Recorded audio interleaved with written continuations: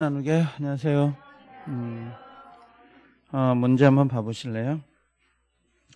어, 전세권하고 지역권, 그 다음에 공유, 그 다음에 부합 이렇게 나와 있는데 어, 합의도 들어가 있기도 하고요. 어, 내용 자체가.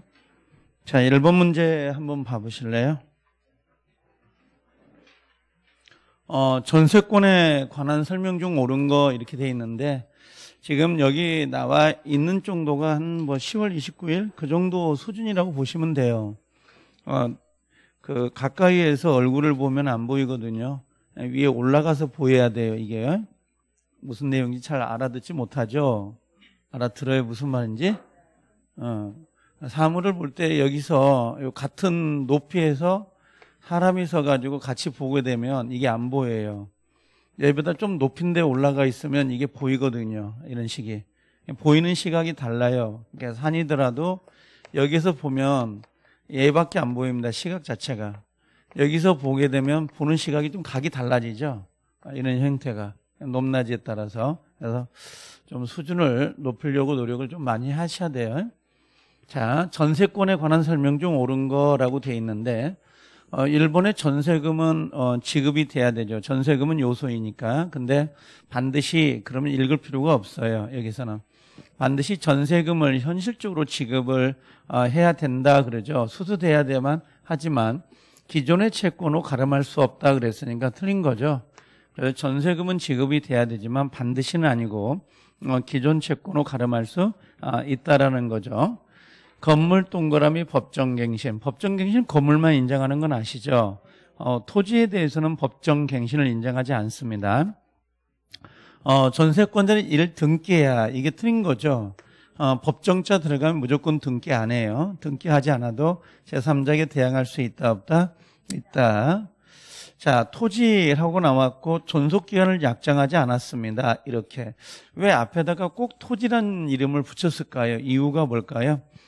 어, 여기가 만약에 건물이었으면 그냥 최단이 1년입니다. 그래서 토지를 넣어야 어, 존속 기간이 없을 때 1개월, 2개월, 3개월 상관없거든요. 그래서 토지 전세권에서 존속 기간을 정하지 않았다면 각 당사자가 중요합니다. 각 당사자가 상대방에 대해서 뭘 할 수 있다는 거예요. 음, 소멸 통보를 할 수 있는데 6개월이 경과해야 이게 틀린 거거든요. 언제든지 맞아요. 언제든지 언제든지 뭐 할 수 있다? 아, 소멸 통보를 하고 몇 개월 있다가 6개월 후에 소멸이 된다. 아, 이렇게 정리가 돼야 되죠. 뒤죽박죽 만들어 놓은 거니까 지문 자체가. 어, 4번에 건물 전세권자는 인지 소유자가 이웃 토지입니다. 인지 소유자 사이에는 상린관계에 관한 규정이 준용되지 않는다라고 했으니까 X가 되죠. 아, 요 상린 관계는요, 지상권, 전세권 또는 임차권 같은 거 있죠. 모두 예, 준용이 됩니다. 준용되지 않는다 그런 게 아니고 어, 전, 존속기간의 만료로 전세권이 소멸하면 어, 전세권의 용익물권적 권리는 소멸이 되는 거죠. 다만 남아있다면 뭐가 남아있는 거죠? 음, 담보물권이죠. 담보물권적 예, 권능은 남아있습니다. 이건요. 그래서 전세금을 돌려주지 않는다면 예, 경매를 붙여가지고 후순위보다 우선 배당을 받을 수 있도록 되어 있죠. 자, 5번이 옳은 정답이었던 것 같아요. 그렇죠? 옳은 걸 찾으라고 했으니까. 자, 그 다음에 이번에 전세권에 관한 설명 중 옳은 건데, 어, 원 전세권자가 전세, 어, 소유자의 동의 없이 전전세를 할 수 있나요? 없나요? 있죠. 예, 물권은 지상권, 지역권, 전세권, 저당권 같은 경우는 물권이기 때문에 예, 그 동의를 받지 않고도 자유롭게 양도하고 전전세 할 수 있습니다. 그러면 전세권은 소멸한다라고 했는데 X가 되죠. 갑이 집이 있고 여기에 을이 전세권자인데 이 전세권자가 어, 이 갑의 동의를 받지 않습니다. 안 받고 이렇게 병이란 사람에게 전전세를 할 수가 있거든요. 음, 가능한데 어, 여기서 중요한 게 전전세가 시험에 나오진 않아요. 잘. 두 가지 포인트는 기억을 하셔야 돼요. 만약에 여기 갑과 을 사이 원래 전세권이 존속기간이 2년이었다 그러죠? 그럼 얘도 2년이 되는 거야. 알겠죠? 얘가 1년이 경과됐어요. 남아있으면 얼마 남아있는 거죠? 1년. 그럼 여기도 1년이에요. 즉, 요 기간을 벗어날 수 없도록 돼 있다는 거 하나. 두 번째 원 전세금이 2억이다 그러면 이 전전세금도 2억을 벗어나면 안 돼요. 그래서 원 전세권하고 이 존속기간과 전세금이 같아야 된다는 거. 이걸 우리 시험에 냈습니다.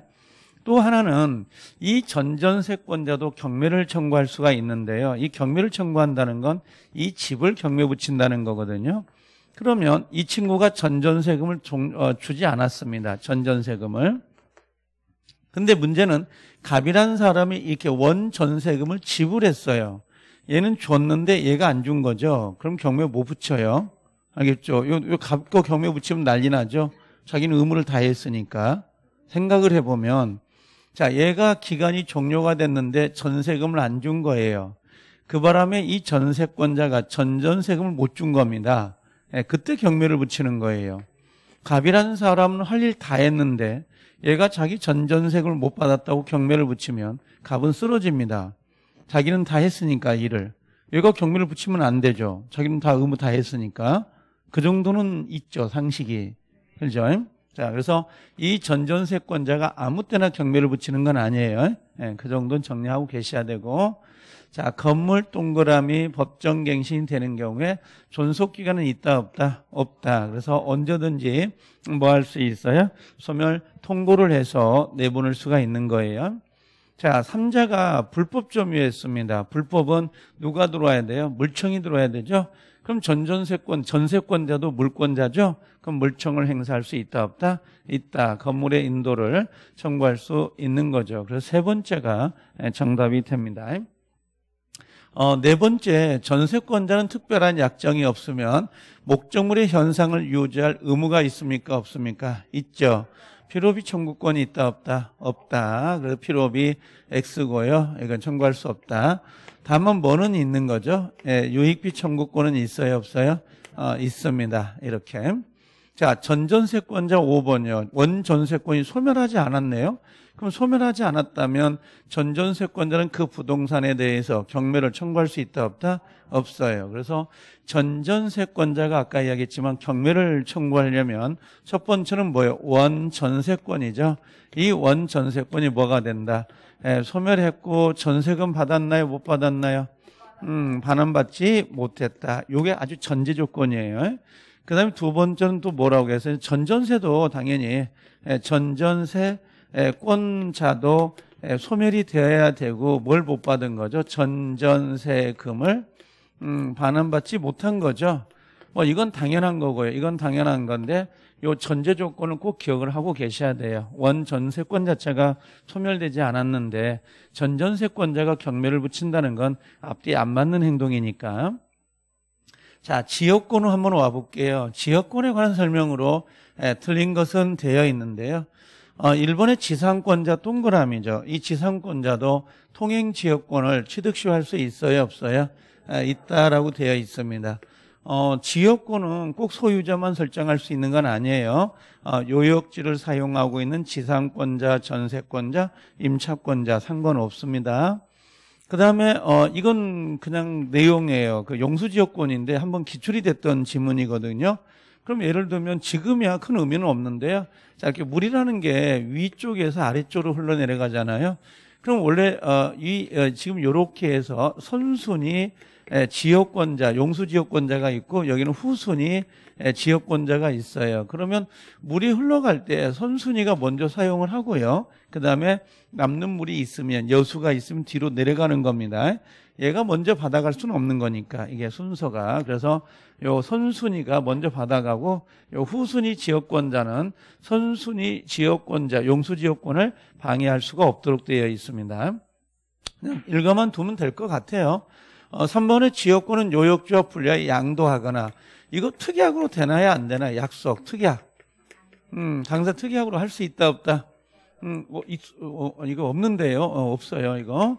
예, 특약으로도 분리가 안 되는 거예요. 이건 약속 특약으로도 안 되는 겁니다. 요역지하고 지역권이 분리나면 난리 나요. 이거 요 지역권 자체가 요역지 때문에 있는 거기 때문에 다른 권리다라고 하는 건 뭐겠어요? 저당권을 잡을 수 있다 없다. 음, 없다 이런 의미죠. 그래서 지역권에는 저당을 잡지 못한다 그런 의미예요.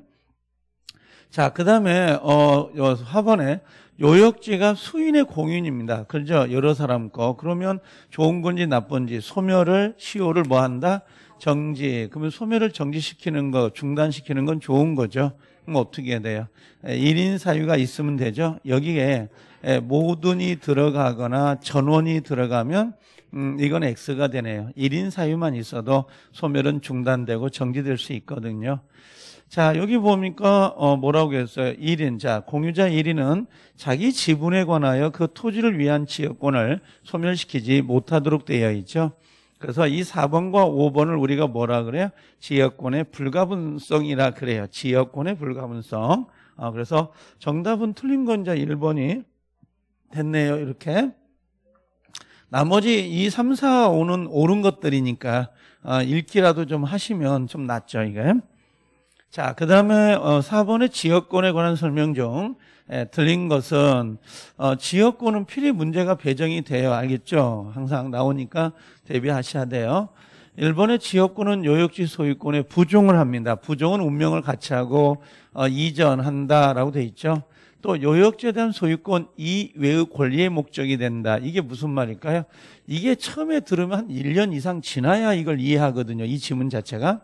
여기는 이해가 돼요. 어, 요역지가 넘어가면 지역권은 당연히 따라가야 된다. 여기는 이해가 되는데 요 뒷게 이해가 안 된단 말이에요. 이게요.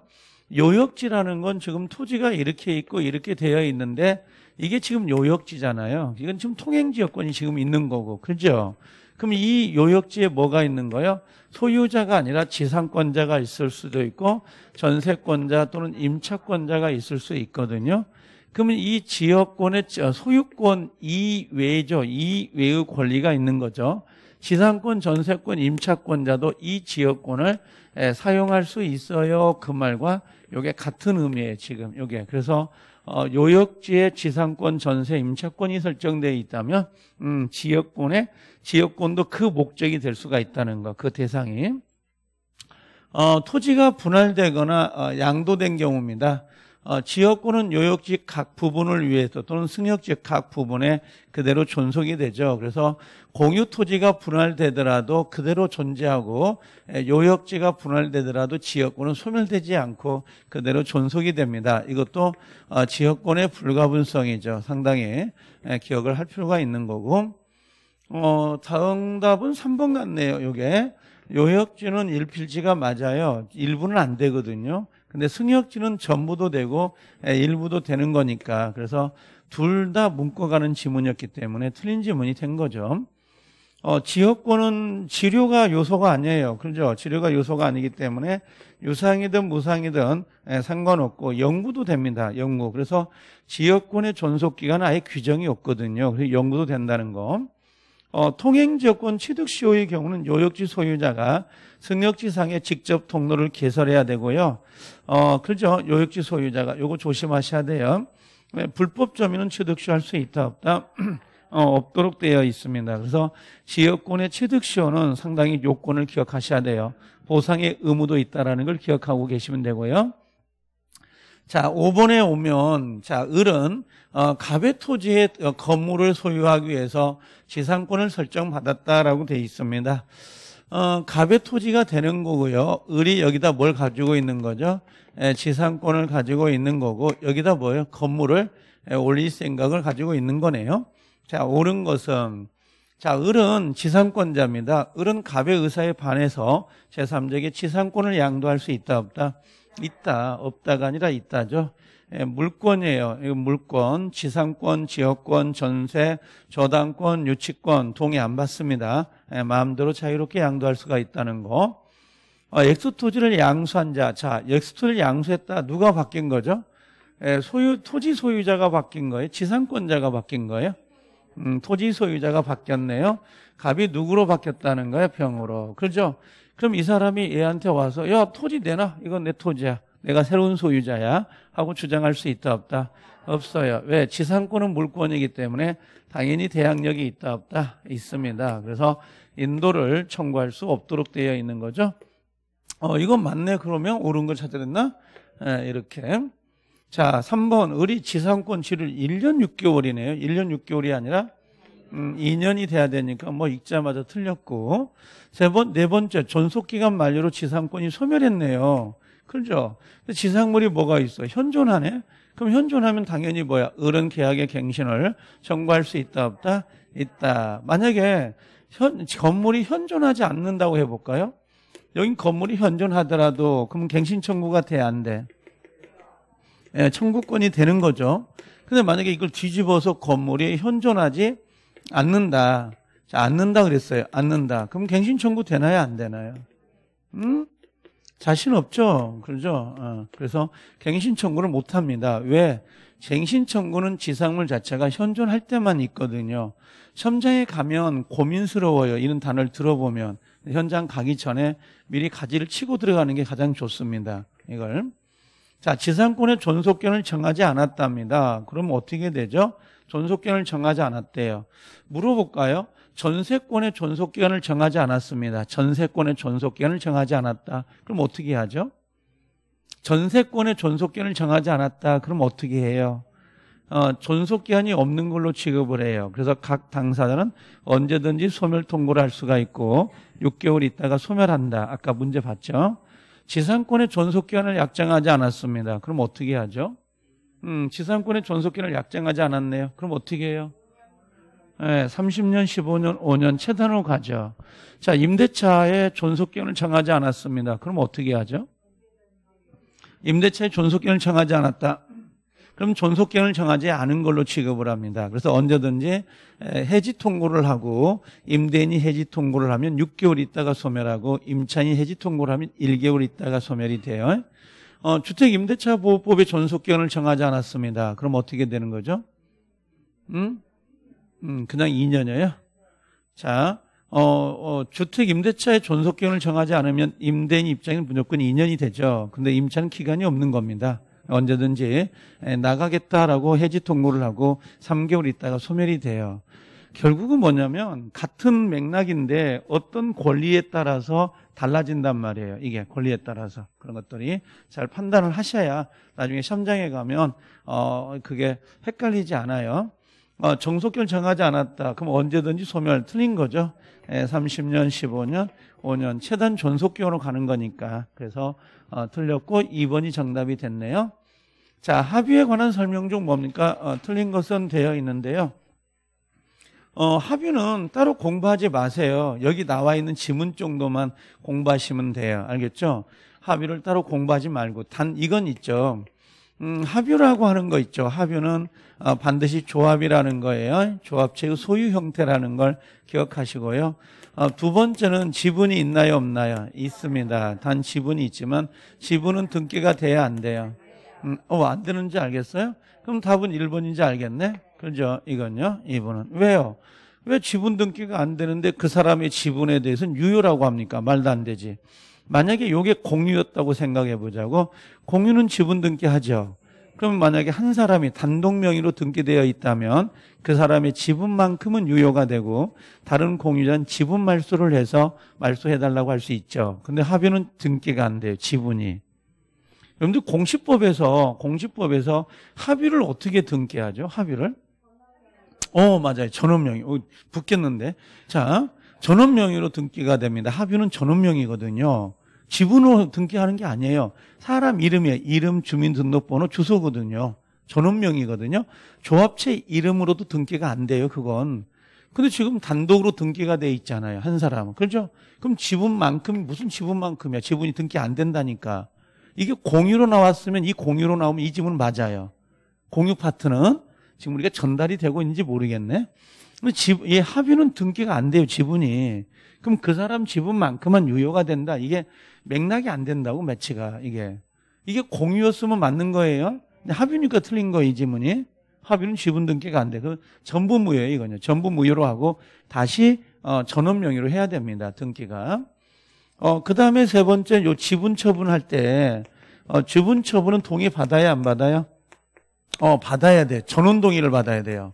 이건요. 공유에서는 공유 지분 처분은 각자가 알아서 하거든요.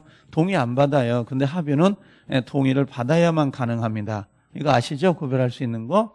음, 네 번째 합유물 있잖아요. 합유물은 어, 분할이 되나요? 안 되나요? 분할. 음, 분할 청구 된다 안 된다?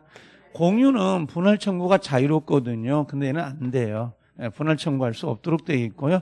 다만 조합체가 해산이 되면 뭐 그때는 소멸이 되겠지만 자 5번 하나만 더 쓸까요? 보존행위. 예, 보존행위는 누가 하는 거예요? 누가 어, 각자가 한다. 뭐 이 정도만 정리해놔도 뭐 합의 다 들어왔네요. 그죠? 자 보존행위 합의 각자가 한다. 그죠? 자 합의자 중 일부가 사망이 됐습니다. 아 아까 이야기했지만 요 지분 등기 안 되잖아요. 상속돼야 안 돼요. 안 됩니다. 상속인에게는 지분만큼 돈으로 계산해 가지고 돈으로 돌려줘 버리는 겁니다. 지분권을 주는 게 아니에요. 지분권은 의결권이거든요. 의결권 주는 게 아니라고 돈으로 계산해서 줘버리지. 그래서 요 합의자가 어, 돌아가시잖아요. 그러면 잔존 합의자가 그 합의를 가져가는 거예요. 그 상속인에게는 돈으로 계산해서 돌려주는 거고 지분권을 승계하지 않는다고 지분권을. 어, 합의 지분도 포기할 수 있어요, 없어요? 있죠.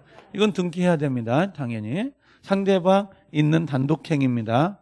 그 다음에 조합체가 해산이 됐어요. 그럼 합의는 예, 종료가 되는 거죠. 분할 청구 안 되는 거고. 그래서 여기 6번에다가 요것 정도 갖다 청구를 해놓으면 제가 봤을 때는 합의 다 나온 거예요. 더 이상 나올 게 없어요, 합의가. 이거 다예요. 따로 공부할 필요가 없다고. 어, 공동 소유에서 공유가 더 중요한 거지. 자, 1번에 어, 공동소유 7번에 어, 공유물 분할 금지 특약 돼야 안 돼요. 되죠? 공유물 분할 금지 특약이 몇 개, 몇 년이죠? 음, 5년. 이거 갱신할 수 있나요? 어, 될 수 있어요. 이게. 예, 한 번이 아니라 여러 번이에요. 마음대로 할 수 있습니다. 어, 합, 어, 환매 있죠, 환매. 환매는 몇 년이죠, 환매가? 5년이에요. 갱신돼야 안 돼요. 거기 갱신 안 되는 거예요. 근데 만약에 합의, 어, 저, 환매 기간을 3년을 정했어요. 합의 기간 5년인데 난 3년에 내가 사고, 다시 사오겠다. 3년 있다가 3년 계약을 했어요. 그러면 2년 남아 있잖아요. 그 2년까지 갱신할 수 있다 없다?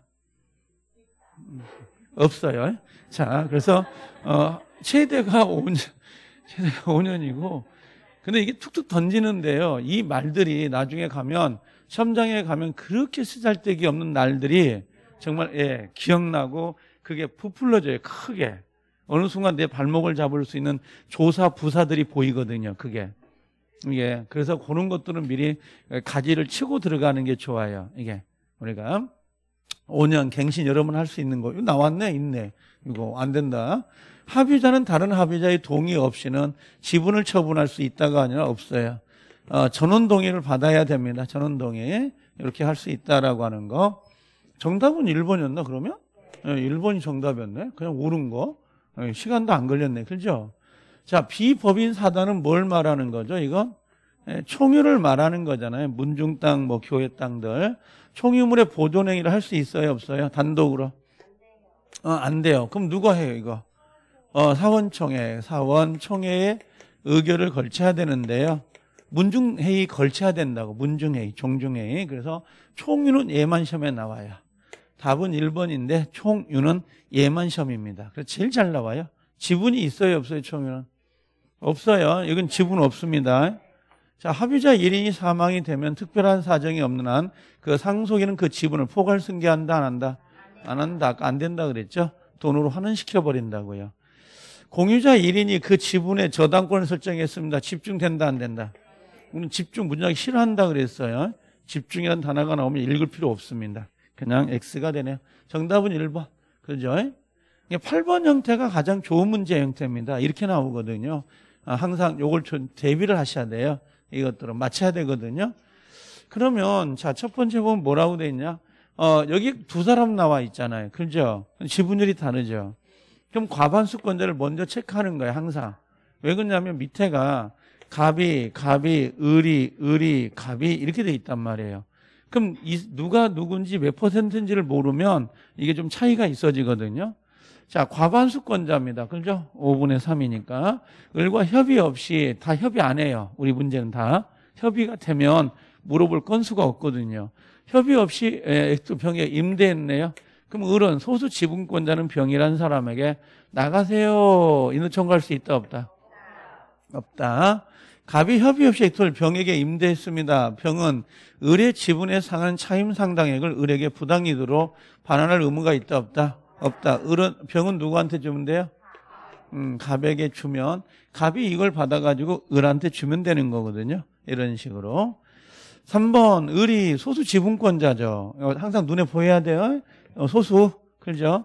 그럼 병에게 임대차, 임대차 했네? 그 임대차 유효, 무효?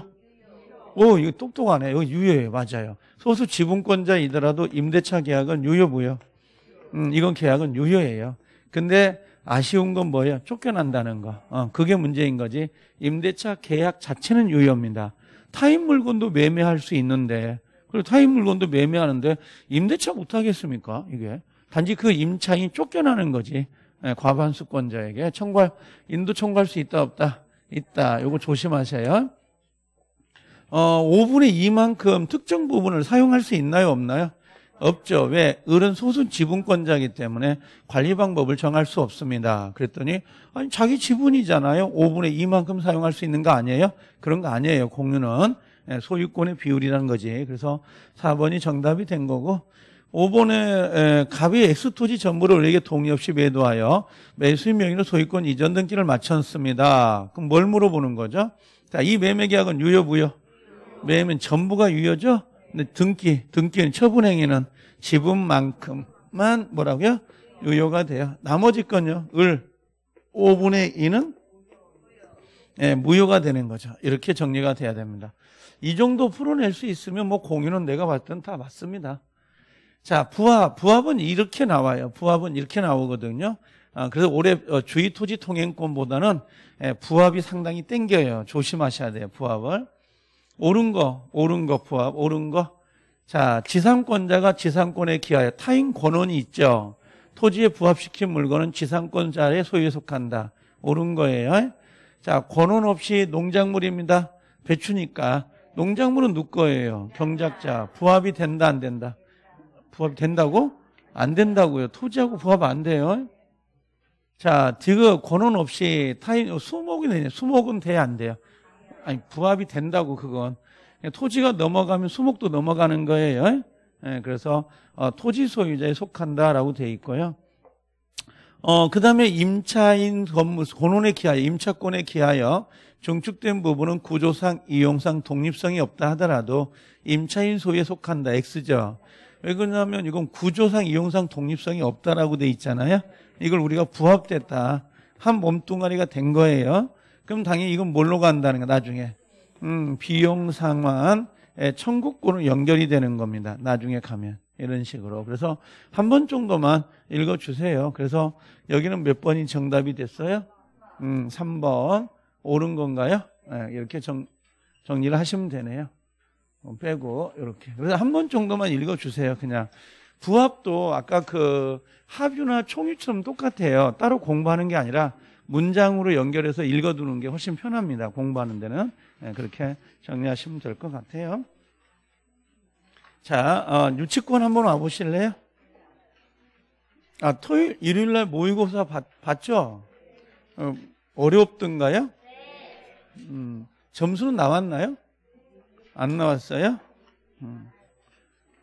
3월달 음. 같은 모의고사는 내지는 않았어요. 제가 내긴 했는데, 어, 문제는 제가 아까도 뭐 다 검, 난 여러 번 보거든요. 거의 애우다시피 하거든요, 문제를.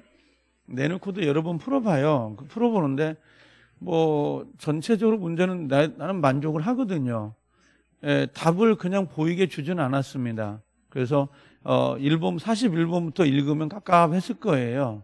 근데 1번이 답이거든요. 그냥 이렇게 보면 명의신탁은 반환 청구할 수 있죠. 103조 위반이 아니기 때문에. 명의신탁은 103조 위반 아니에요. 그럼 불법인 급여가 적용되지 않죠. 그럼 돌려받을 수 있는데 돌려받을 수 없다 그랬으니까 걔가 답인데 거기다가 만약에 그걸 냈으면 되겠죠. 명의신탁은 103조 위반이다. 그러면 당장 찾죠, 답을. 그렇게 주는 문제는 없어요. 실제 문제에서도. 3월달 모의고사 형태는 없습니다. 그런 문제가 뭐 10문제 정도 주는 거 그런 건 없는 것 같아요. 이거는. 단지 이제 4월달 모의고사, 이제 5월달 모의고사인가요? 5월달 모의고사는 아마 쉽게 나올 거예요. 난 답이 보이던데 그냥 다 어, 주워 먹게 생겼더라고. 요거 답, 요거 답 이렇게 되어 있습니다. 과연 도움이 될까? 여러분들한테. 자, 어, 시험은 모의고사는 실패를 봐도 상관없어요. 그렇죠? 언제 잘 나와야 돼요? 10월 29일 날 잘 나와야 되거든요. 어, 나, 제가 나무를 키워보다 보니까 그런 거 있더라고. 나무를 반드시 가지치기를 해야 되거든요. 예, 우자란 놈 잘라야 되고 밑으로 처진 놈 빠, 어, 필, 어, 잘라야 되고 세 가지가 나오면 둘 중에 하나를 잘라내요. 우세 가지를 놔두고 항상 그런 어, 형태가 있는데 시험장에 들어가기 전에 반드시 뭡니까 확인하고 들어갈 게 몇 가지 있어요. 근데 그 모의고사 같은 것도 시험을 끝나고 나면 뭐 잘 받네 못 받네가 중요한 게 아니고 그 문장을 해석을 해서 그 문장이 이렇게 나오는지 안 나오는지를 볼 수 있으면 훨씬 그게 도움이 되거든요. 지금 아니면 그럴 기회가 별로 없어요. 모의고사는 원래 4월달, 5월달, 6월달까지는 좀 어렵게 내야 되고 그다음에 8, 9, 10월은 쉽게 내야 돼요. 왜냐면 8, 9, 10월이 어려워버리면 시험장에 안 가버리거든요. 이게 희망이 안 보이고. 근데 지금은 어, 어렵게 내줘야 되거든요. 근데 뭐 다음 달도 문제는 쉽게 나오는 것 같다고요. 다 전체적으로 보면. 자, 어, 쉽게 나오니까 기분 좋아요? 자, 어, 그래서 한 번 정도 모르는 게 있으면 다시 확인하고 그러세요. 자, 너무 낙담하지 말고. 또 공부하는 배우는 개념도 있죠, 뭐. 자, 우리가 그 유치권을 한번 좀 정리할 건데요. 유치권은 작년에도 문제가 하나 나왔어요.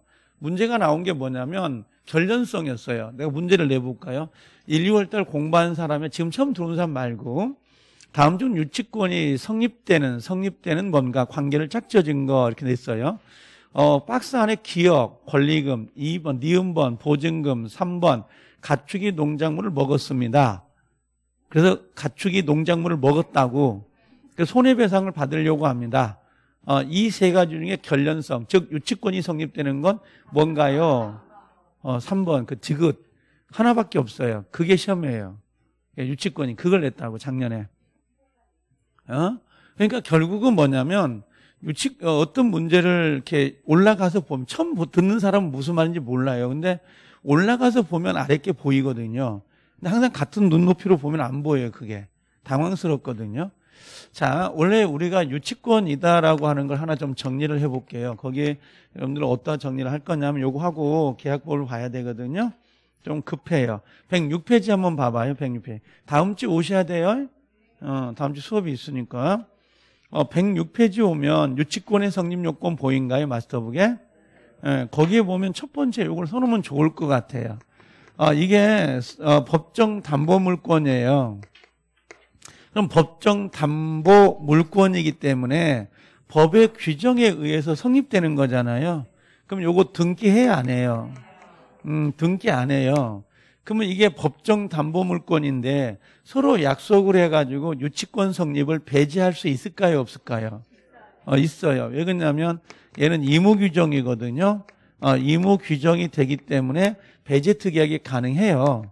배제 특약이 가능하다 이렇게 되어 있습니다. 성립되지 않도록 약속할 수가 있는데요. 첨장에 가면 이렇게 내질 않아요. 앞에다가 유치권은 법정 담보 아니, 법정 담보 물권이기 때문에 양 당사자가 서로 배제 특약할 수 없다 이렇게 나와요. 근데 여러분들 발목을 잡는 게 뭐냐면 얘가 보인다고 법정 그래 맞아 법의 규정이기 때문에 어떻게 당사자가 이걸 배제할 수 있지? 이렇게 소설을 쓴다고요. 나중에 잘못하면 그래서 확실하게 기억을 안 해놓으면 나중에 실패를 보는 경우가 있으니까 이런 건 좀 조심을 하셔야 돼요. 자, 그 다음에 하나 더 해볼게요. 어떤 게 있냐면, 어, 이런 게 있어요.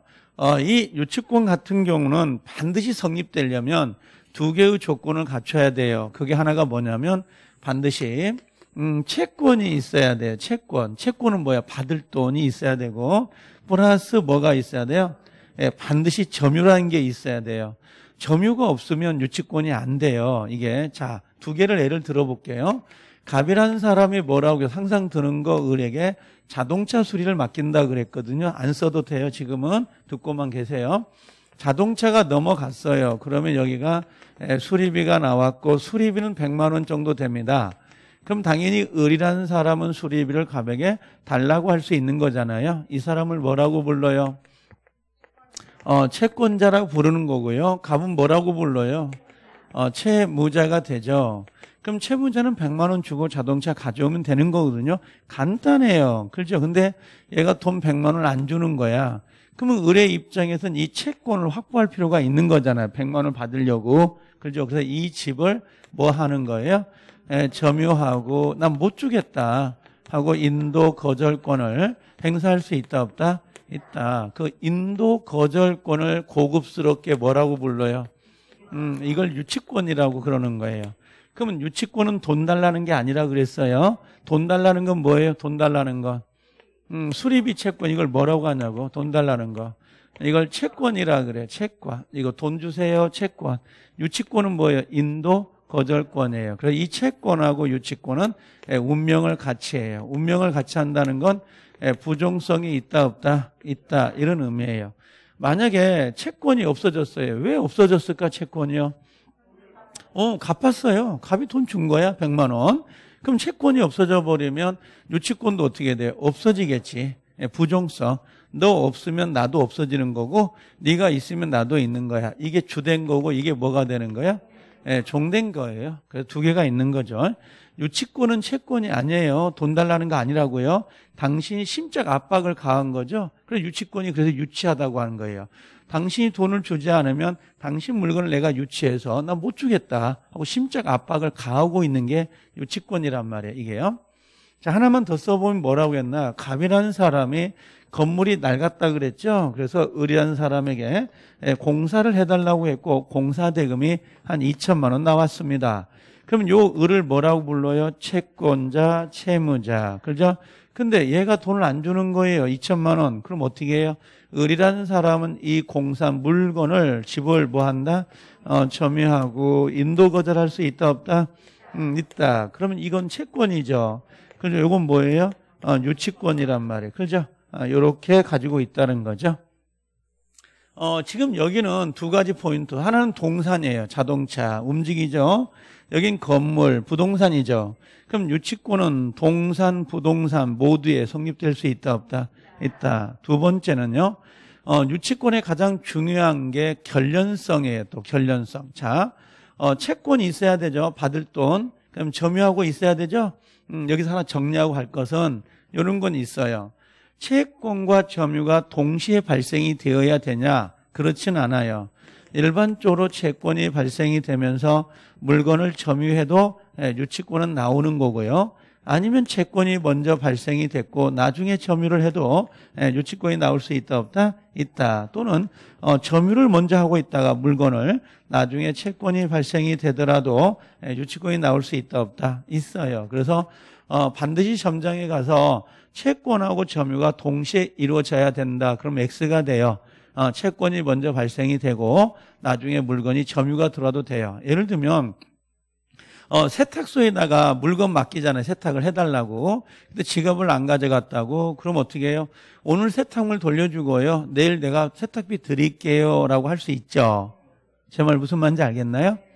자, 근데 내일 내가 깜빡 잊어먹을 수 있거든요. 자, 그러면 세탁소 아저씨는 채권이라는 걸 가지고 있잖아. 5만 원짜리 채권. 세탁비 5만 원짜리 채권 가지고 있죠. 물건은 점유 안 하고 있잖아요. 내가 가져왔으니까. 그죠? 채권은 있지만 점유를 안 하고 있는 거야. 근데 내가 나중에 내일 줘야 되는데 잊어먹어 버린 거야. 그 5만 원을. 그죠? 그러다가 이 세탁물이 다시 들어가는 거지. 다시. 다시 들어가면 그 세탁소 아저씨는 5만 원짜리 채권을 가지고 있었는데 마침 뒤에 물건이 들어온 거잖아요. 그럼 점유가 된 거죠? 그럼 채권이 먼저 발생되고 예, 나중에 점유를 한 거잖아요. 그래 유치권 나온다 안 나온다? 나온다 이런 말이에요. 그래서 채권과 점유가 반드시 동시에 이루어져야 되는 것은 아니다. 그걸 이야기하는 거예요. 자, 그다음에 또 하나는 뭐냐면 동산 부동산 상관이 없습니다만 반드시 결련성이라는 건 있어야 돼요. 이 결련성이 뭐냐면 요 자동차 때문에 요 수리비가 나온 거잖아. 채권이. 얘 때문에 얘가 나온 거고 요 집 때문에 2천만 원이 나온 거잖아요. 그죠? 이런 결련성이 있어야 되는데 제가 말해서 결련성 결련성 하면 가슴에 와 닿지 않습니다. 처음에는요. 나는 가장 어려웠던 게 뭐냐면 매매 대금하고 매매 대금하고 매매 목적물하고 왜 결련성이 없지? 또 보증금하고 보증금하고 그다음에 임대차 목적물 있잖아. 점유하는 거. 이게 그게 결련성이 없는 거지. 그 집을 사용 수익하려고 하는 게 보증금 들어간 거 아닌가? 그럼 보증금을 받기 위해서 그 집을 유치하는 건 당연한 거 아닌가? 그 결련성 있는 거 아니야? 그래도 나중에 아니되는 거예요, 그게. 이건 동시행 항변권은 나올 수 있어도 예, 결련성이 없다는 거야.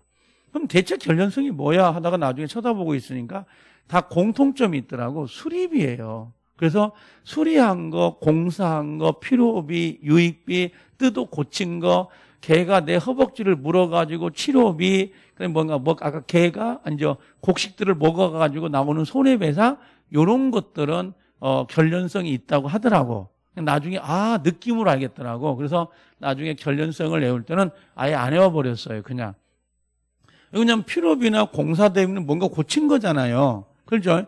수선비 AS, AS에서 그 뭐야 맡겨가지고 뭐 어, 같이 어, 고친 것들 이런 게 다 수리 어, 나중에 결련성이더라고 이것들이. 그래서 그런 것들을 알게 됐는데 자 이제 이걸 한번 정리해 보면 자 106페이지 한번 봐보세요. 마스터북 스프링철 된 거. 자 일본의 뭐 부종성은 엄격하다란 말 보이죠? 예, 채권이 있어야 어, 유치권이 나오는 거고요. 두 번째 우선 변제가 없어요. 이 유치권의 가장 큰 특징이 우물물이 없어요. 우물물이 이게 큰 특징이거든요. 그래서 애우는 돼야 돼요. 우선 변제권, 예, 물상 대비, 물권적 청구권이라 그래요. 물권적 청구권인데 우물물이 없다. 요건요. 꼭 좀 기억을 하세요. 알겠죠? 여러분들 그 공시법에 가면 지적법, 지적 그죠? 그게 지목이라는 게 나오죠.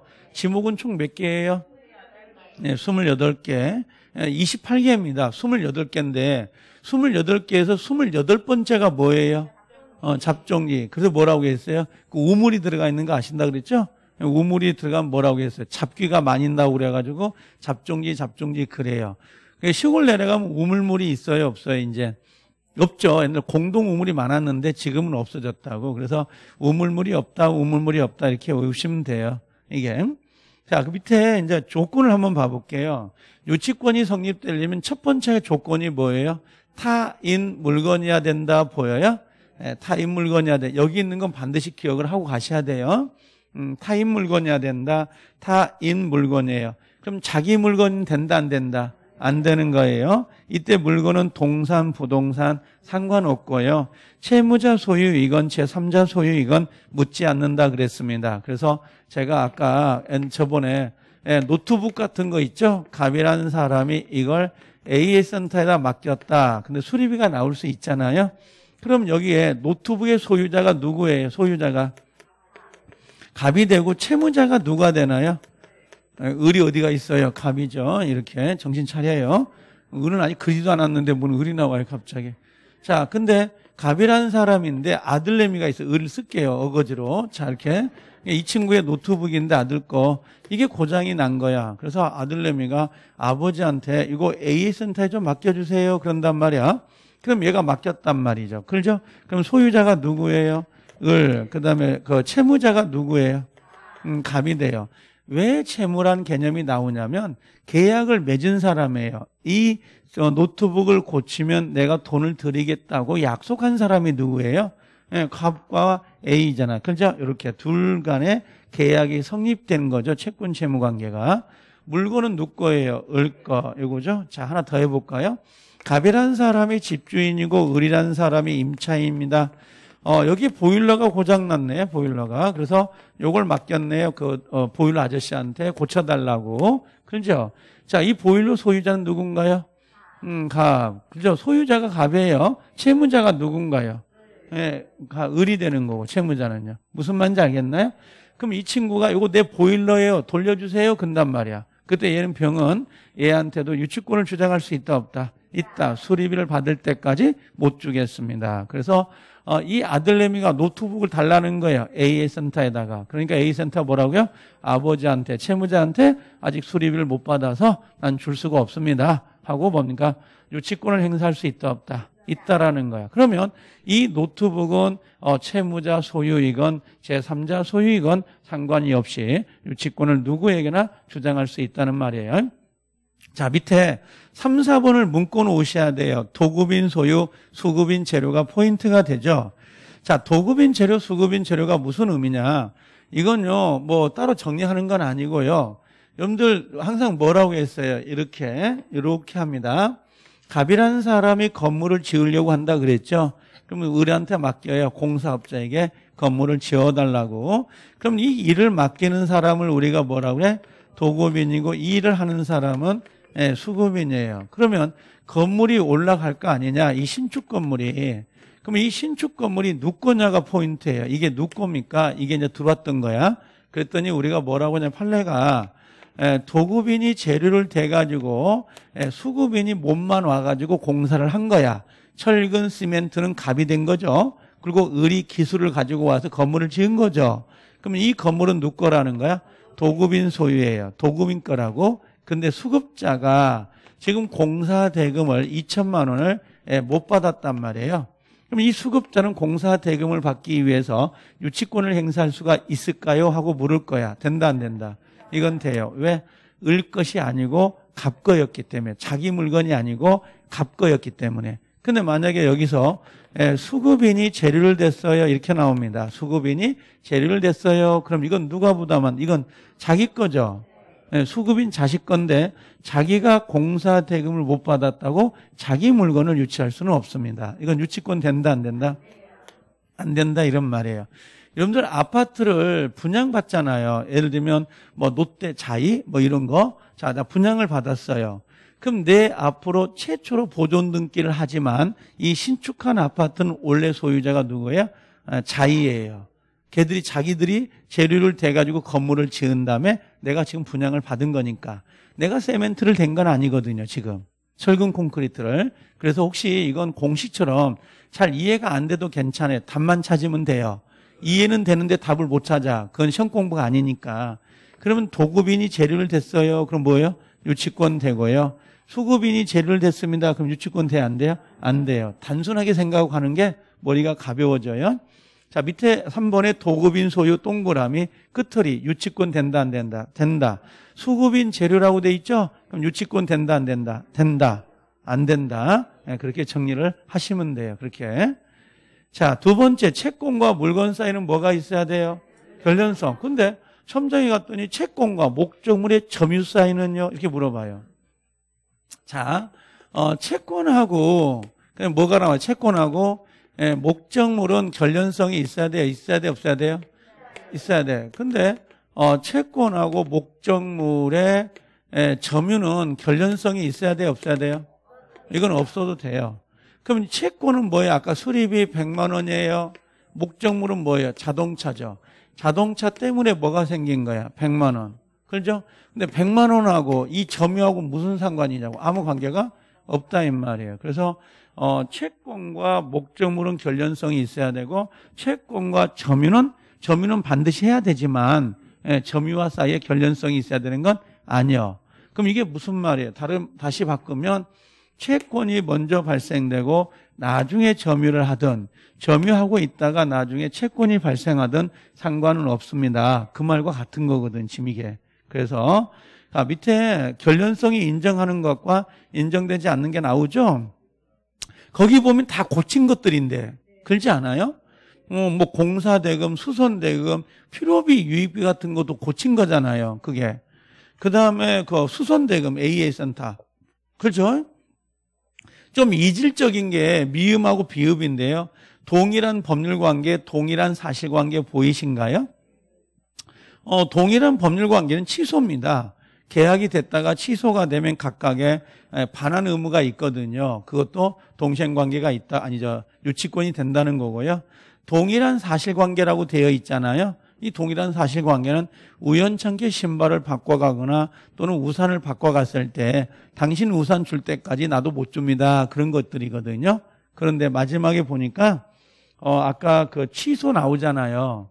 그 취소나 동일한 사실관계는요. 유치권도 성립이 되지만 동시행 항변권도 같이 병존이 돼요. 같이 행사할 수가 있거든요. 이건 나중에 가면 다시 가볼게요. 거기 필요비 유익비는 유치권이 나올 수 있잖아요. 그죠? 근데 혹시 기억나나요? 전세권자는 필요비 청구권 없는 거? 유익비 청구권만 있죠. 그럼 시험장에 가면 전 앞에 주어를 넣습니다. 전세권자는 필요비 유익비를 받기 위하여 전세 목적물을 유치할 수 있다. 이렇게 나와요. OX, X. 원래 필요비와 유익비는 전련성이 있어서 유치권 행사가 가능하지만 전세권자는 필요비 청구권이 없기 때문에 유치권 행사가 된다 안 된다 안 된다 이렇게 아, 응용이 될 거예요. 다시 해볼까요? 임차인은 필요비 청구권, 유익비 청구권이 있어요 없어요? 있죠. 근데 임대차 계약을 체결할 때 임대인과 임차인이 원상 회복 약정을 하였습니다. 앞에 쓴다고 멘트를 그 뒤에다가 원상 회복을 했음에도 불구하고 필요비 유익비는 결련성이 있어서 유치권을 행사할 수 있다. OX, X 왜 원상 회복 의무 약속을 해버리면 필요비나 유익비를 포기한 거거든요. 그럼 유치권이 나오면 돼 안 돼요? 안 된다. 그래서 우리가 단순히 필요비, 유익비는 결련성이 있어서 유치권을 행사할 수 있습니다라고 애우고 있지만 그렇게 점장에 하면 응용이 된다고요. 예, 그대로 주지 않는다고 그걸 대비를 하셔야 됩니다. 밑에 부정되는 거 있죠? 보증금, 권리금 뭐 당연히 아주 너무너무 잘 나옵니다. 부속물 매수 청구권 보인가요? 그 부속물 매수 청구권이 다른 말로 매매대금이에요. 매매대금. 부속물 말고 지상물 매수 청구권도 있을 수 있잖아요. 그죠? 예, 부속물 매수나 지상물 매수는 매매이기 때문에 당연히 결련성이 없습니다. 아, 유치권이 나오면 안 돼요. 음, 그 다음에 거기 밑에 건축 자재대금이라는 거 보이신가요? 어, 얘도 꼭 체크해 놓으세요. 건축 자재대금은 결련성이 없어서 어, 유치권이 나오지 않는데요.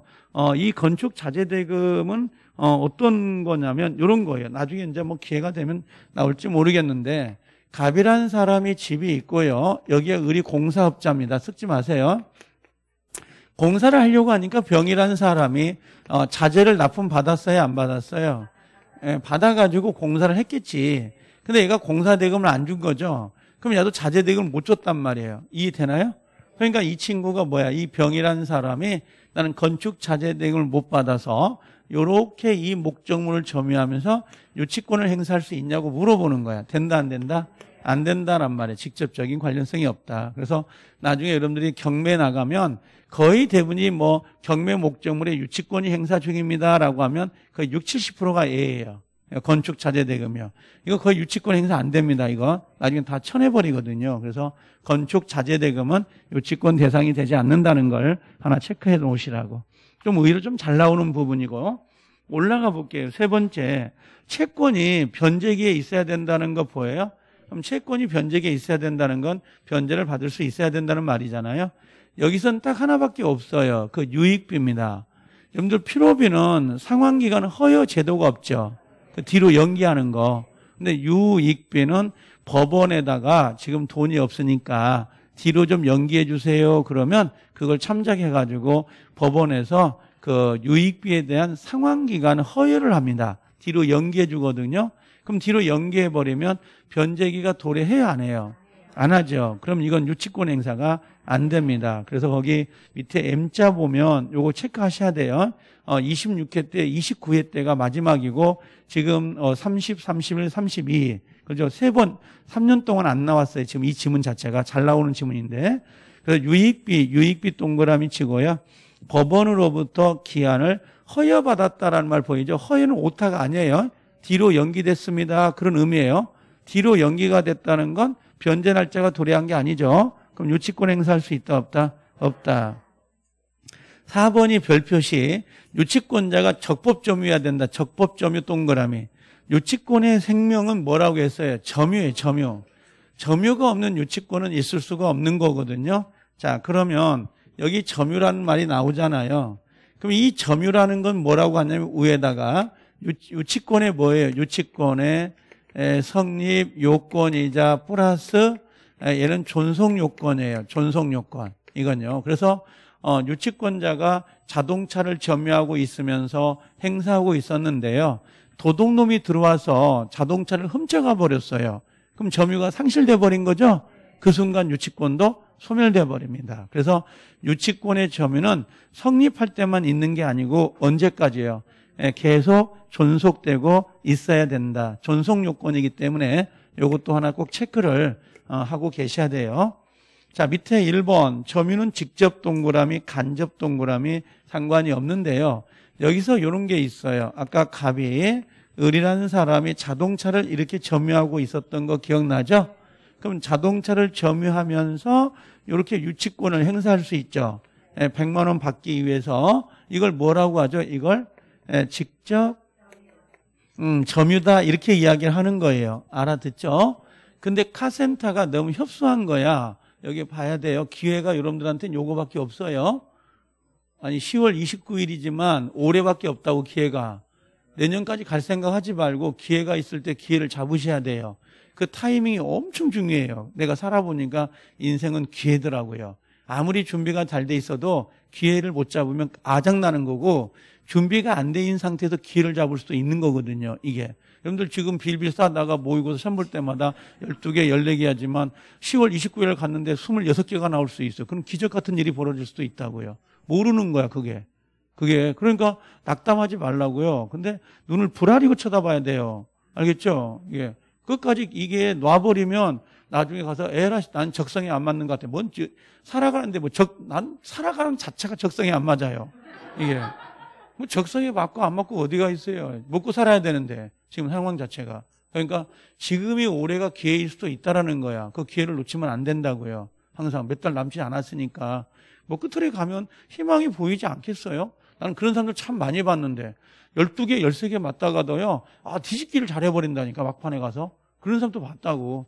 그 9월, 10월, 8월 달에 오신 분이에요. 아, 나 지금도 안 잊어먹어요. 8월 달에 오셔가지고 어, 이 공부를 해가지고 수업을 듣고 세 달 만에 붙어서 간 사람도 봤어요. 아, 나 근데 그 양반은요, 내가 다섯 군데 학원을 다녔단 말이에요, 학원을. 특강할 때마다 보여. 어, 여기, 이 양반 여기 있었나? 딴 데 가면 또 있어, 그게. 그 양반은 돈을 아까운 게 아니야. 3개월 동안 남들이 1년 할 걸 투자한 거야. 특강할 때마다 쫓아다니는 거야. 계속 다섯 군데를. 특강비 아깝다 생각하지 않고 3개월 딱 하고 가버리더라고요. 그런 정성이 있으니까 붙더라고, 이게. 그런 정성이. 꼭 반드시 요구되는 시간이 있으니까. 알겠죠? 여기 봐요. 급해. 얘가 지금 자동차를 직접 점유하면서 유치권 행사할 수 있죠? 근데 카센터가 협소했다고, 맡겼다고, 병이라는 사람한테 자동차를 맡겼어요? 그럼 이 사람은 뭐가 돼요? 에, 직, 뭔 간접이요? 이 직접이지. 어, 난 누나 불안인 거 아니에요? 에, 직접 점유한 거요? 그럼 얘는 뭘로 바뀌는 거야, 이제? 간접 점유자가 되면서 유치권 주장할 수 있다, 없다? 있다. 그러면, 자, 제3자가 뭐예요? 제3자가 뭐 하고 있는 거야? 예, 직접 점유를 하고 있으면 유치권 나와야 안 나와요? 나오는 거야. 근데 자동차를 얘한테 맡겨버린 거야. 채무자에게. 그리고 얘가 직접 점유하고 내가 간접 점유하면서 유치권을 행사한다. 이게 심적 압박이 가해지겠어요? 돌려줘 버린 거지. 그죠? 이게. 그럼 여기는 무슨 말이야? 채무자를 직접 점유한 유치권 나와 안 나와? 안 나와. 자, 1번, 2번. 여러분들이 출제자라면 어떤 걸 시험을 내겠어요? 예를 내는 거야, 예를. 예를 내는 거죠. 시험 자체는 정해져 있는 시험 지문이라고. 이거요. 돌려줘 버린 거라고. 자, 그래 거기 직접 점유, 간접 점유 상관없다라고 돼 있죠? 그럼 요거 하나 써놓, 써놔야 돼, 이거. 이거, 이거, 요거. 이게 27회, 28회, 29회, 30회 다 들어갔어, 지문이. 근데 2년 쉬었어요. 채무자가. 그래서 좀 조심을 하고 가셔야 돼요. 그래서 밑에 공간에다가 예, 써놔라는 거지. 채무자, 채무자가 직접 점유하면 유치권 나온다, 안 나온다? 안 나온다. 예, 꼭좀 기억하시고. 자, 불법행위 보인가요? 얘도 기똥차게 잘 나와요. 동그란 불법행위. 자, 불법행위는 뭘 듣느냐면 꼭 요걸 냅니다. 웃긴 게 뭐냐면 오늘 집에 가서 모의고사를 봐보세요. 어, 저번 엊그제 복모의사 모의고사 지문을 보면 포인트가 있어요. 그 포인트를 찾으면 그게 보여요. 답이. 엄청 쉽게 읽혀집니다. 그러니까 답을 문제를 풀 때는 아씨 뭐 이런 문제 이 쌍팔쌍팔 하다가 시험장에 가서 점수를 매보 집에 가서 점수를 매보면 의외로 점수가 나와 있어요. 예, 근데 실제 10월 29일도 그럴 거예요. 10월 29일 날 오전 시험 보고 오후에 이제 2차 시험 보려고 김밥 먹을 때가 있거든. 나오면서 H 쌍팔쌍팔 한 사람 붙어요. 근데 딱 나오자 일체 끝나자마자 오면 이렇게 쉽대 민법이? 그럼 아웃이에요. 절대 민법은 그렇게 답을 주지 않습니다. 절대로. 절대 나오질 않아요. 근데 아리까리, 아씨, 문제가 뭐 이 모양이야? 하고 나왔는데 붙어 있어요. 근데 막 김밥 먹을 때 막 신나. 그죠? 아, 난 붙은 것 같아. 너무 잘 나와. 쉽대? 이렇게 쉬운 것 같아. 뭐 아웃이야. 명단에 없어. 그리고 잠적을 해버려요. 이게. 연락을 안 받아. 자, 어, 두 번째가 요거예요. 불법이라고 할 때 이 절대 적법점이어야 되거든요. 내 불법 점유자는 유치권이 나온다 안 나온다? 안 나와요. 그런데 이걸 그대로 내질 않아요. 뭐라고 하냐면 임대차 존속 중 자, 비용을 지출했다. 비용 지출했다. 요 단어하고 어, 임대차 어, 종료 후에 비용을 지출했다. 그랬더니 나중에 이렇게 나오네. 전세권이 종료 후에 같은 말이 다른 말이요. 얘나 얘나 같은 말이야 다른 말이요. 같은 말이요. 뭔 다르긴 뭔 개뿔이 달라. 똑같은 건데. 글자만 다르면 다 다른 줄 아는가 봐 이게. 의도가 같은 거라고. 지금 이건 뭐예요 지금? 존속 중이죠. 비용 지출했죠. 그럼 비용 상환 청구할 수 있다 없다? 유치권 행사할 수 있다. 자 여기 비용 상환 청구할 수 있다 없다? 있다. 불법에도 비용은 받거든. 도둑놈도 받잖아요. 그죠? 비용. 아기자도. 근데 유치권은 돼, 안 돼? 안 돼. 왜 안 돼요? 이게 포인트야. 임대차가 끝났으면 가야 될 거 아니야. 근데 뭔 비용을 지출해. 그럼 이게 불법이라는 거지. 의미 자체가. 그럼 이건 유치권이 안 되는 거지. 비용은 받을 수 있다 하더라도. 왜? 비용을 들여서 고쳤으면 집주인은 좋은 거 아니야? 부당하게 이득을 받잖아요. 그럼 그 비용은 줘야지. 유치권은 안 되지만. 이렇게. 자, 그 다음에 3번, 요거 마지막이네요. 자, 여기 봐봐. 그림 하나 그려봅시다. 자, 어, 우리가 주택임대차 특별법도 지금 해왔잖아요. 혹시 기억나요? 그러면 말소 기준 권리라는 게 있었죠. 경매가 있고 여기 말소 기준 권리가 들어가요. 그럼 이게 저당권이죠.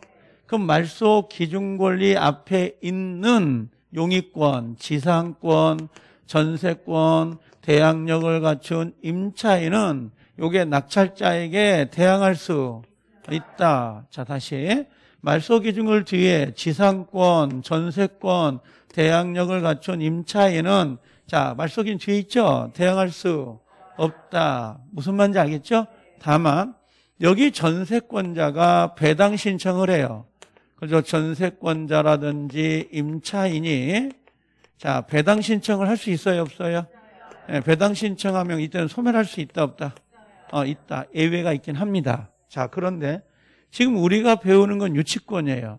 자, 이 건물을 자, 유치권자가 공사를 해서 어, 유치권을 가지게 될 건데 공사 대금을 요 저당권 앞에 유치권이 성립이 됐어요.